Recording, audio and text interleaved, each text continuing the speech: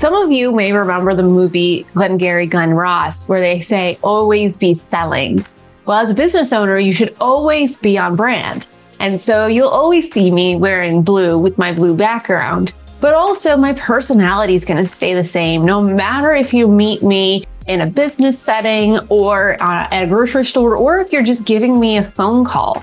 You want to always be on brand. And so, if you're a pleasant person, you should always be a pleasant person.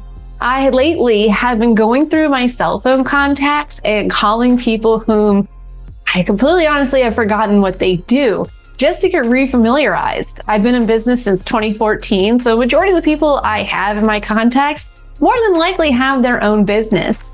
Majority, I would say 95% of people are super pleasant. They're happy to reconnect. We let each other know what it is that we do, and I've even been able to send out some referrals. Now, for the other 5%, some people are just being rude.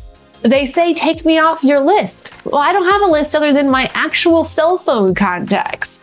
They'll say, oh, they're not interested. Oh, they need money, but they don't want to talk about what they actually do. Are you being on brand when you're being that rude to someone who may be sincerely trying to help you? Think about the energy you're putting out and think about how you're acting with people because at all times you are marketing yourself and you are showing off your brand.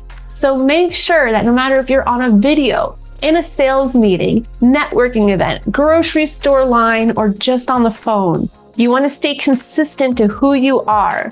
So show off who you truly are. Are you a pleasant person or are you cranky? And if your brand's cranky, then keep at it. If you have any questions about how to best show your brand on video, please schedule a complimentary strategy session. I'd love to help you. And leave in the comments do you feel like people are mostly being their brand or do they turn their brand off and on? Let me know in the comments.